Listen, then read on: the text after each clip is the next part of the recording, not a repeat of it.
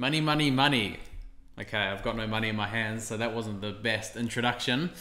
Hey, how's it going everyone? In this video, I want to talk about how I invested my first $100,000.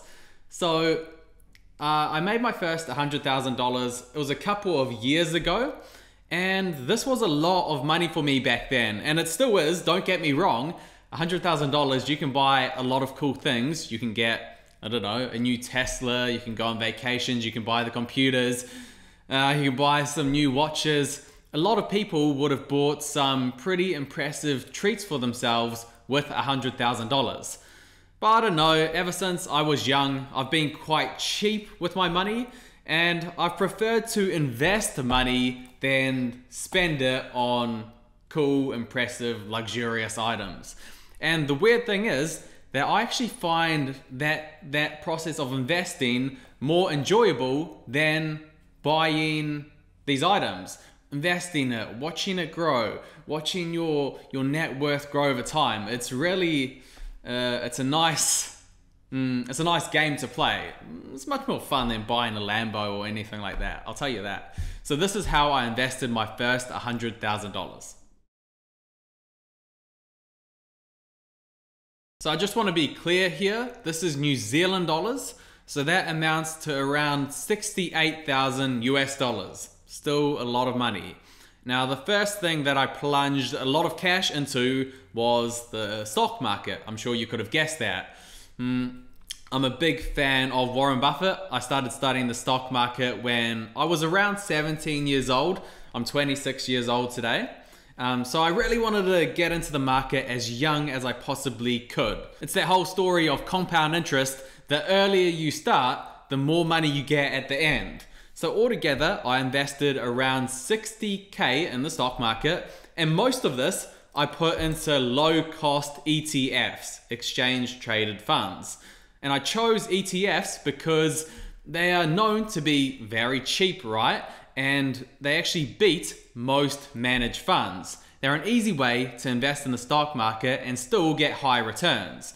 And the ETFs that I chose was a mix between large companies in the United States, in Australia, in New Zealand, and I also bought a world ETF. So this way I own companies throughout the world which I'm paying little fees on and it just means I'm well diversified in the stock market with an easy option of investing.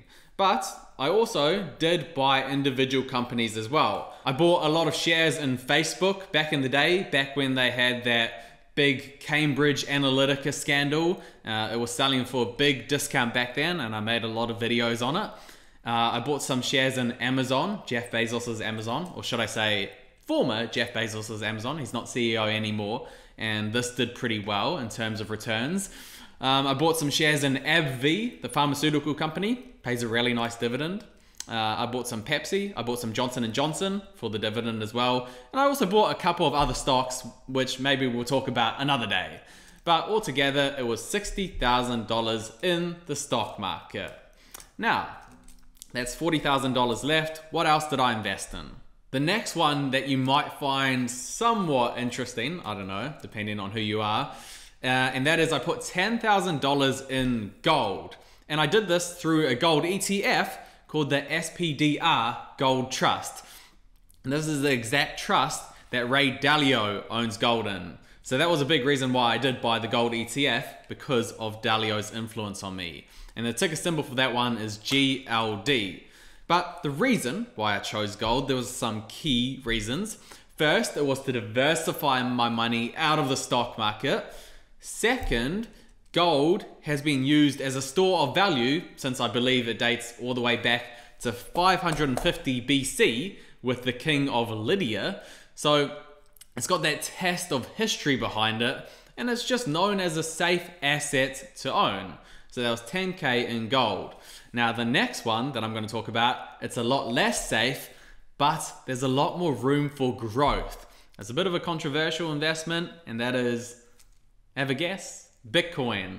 So I purchased around $2,000 uh, in Bitcoin when it was around $34,000 a coin, US dollars. And my plan is just to leave it. I have no plans on selling it anytime soon. I'm not going to be trading Bitcoin. I'm not going to be waiting for short term price movements. Just buy, hold, and hope that as crypto gets more and more popular, Bitcoin stays at the top of the pile and becomes widely adopted. This is a possibility. If so, I make a lot of gains. And if not, it's money that I can afford to lose. $2,000, it's, it's not the end of the world for me. But in my opinion, if I look at uh, Bitcoin in five, ten years from now, it's going to be a lot higher. And I've done some certain calculations around this. This is not just a guess. I've, ma- I've made videos on this in the past, which you can check out the reasons why if you want. The next thing that I purchased was the great Toyota Caldina. Hmm, what a car, what a car. Basically, it's a car that could get me from A to B. It's very simple, it's nothing too ex- expensive. It set me back around $7,500 and it only had 60 kilometers on it. So I knew that it's going to last me for a long time. It's going to do the job that a car needs to do. Yep, it's no Tesla. Sorry, Elon Musk. I'd rather buy the stock than buy the car. But, you know, the Toyota Caldina, it's the perfect car for me.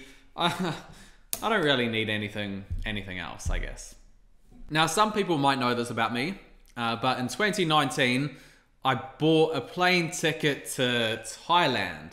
And this is when I first was starting up my business. I needed a cheap place to live, and I chose Thailand because well, I'd had one of my best friends who lived there, and I guess who doesn't want to live in Thailand for a year?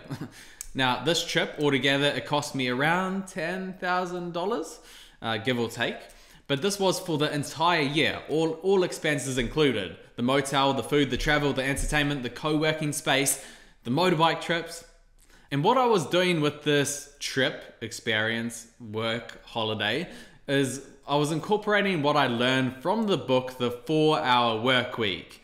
One of the big premises is in the book, if that's the right word, premises or premise in the book is to earn a strong currency online and then have your expenses be in a weak currency. This way, you live cheaply, but you still earn well. So, I was earning US dollars, one of the strongest currencies in the world, through my online business, and all of my expenses were in Thai baht, a very weak currency. You know, currently, one US dollar equals 33 Thai baht. So I could stay at a nice motel, eat nice food every day, do fun things, and it hardly cost me any money because I earned in a strong currency and paid in a weak currency. Then basically what I did was just saved and invested the rest of my income that I earned and that I built with my business through the year of 2019. Now, these next three things that I bought, in hindsight, they were the most important investments that I've made in my life, and they were some of the most cheap. So, the first thing that I bought was a camera. I've actually upgraded my camera since then, but a camera and the whole package was around $900. Okay, the second thing I bought was a little clip on microphone so that you can hear me in my videos properly, and that was around $80. And the last thing that I bought was a bigger condenser microphone for voiceovers that was around $190. So that's just over one grand altogether. And these three things, you're not gonna believe this, basically. but they have made me over 800,000 US dollars minus tax. I still have to pay tax on this. And, and I earned this through my other investing YouTube channel, uh, which is a lot bigger than this channel. Maybe one day that will change. I don't know. So yeah, that, that is a lot of money, right? Unless you're Bill Gates, then that's nothing, but that's a lot of money. So what we have to realize is that sometimes it's not the stocks, it's not the gold, it's not the crypto investments that will make you rich. Sometimes investing in your own business, at least for me, is what made me the most money. So think about that. If you're investing not that much money, maybe look at investing it in yourself. Whatever your passions are, look to build up a business that way. That's where you can make some some crazy returns, returns that people people won't even believe what you made when you say it say it to them. Which, by the way, I don't, I don't talk about my returns to anyone, but I don't mind making this on, on camera. I don't mind saying it on camera. But the thing with these investments, this $100,000, the way I think about it is the way Warren Buffett talks about and teaches. He goes like, it goes something like this.